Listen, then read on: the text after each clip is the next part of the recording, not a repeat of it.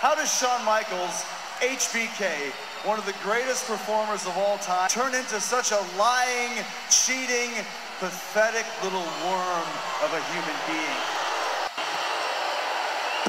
Oh! El Jericho! Assault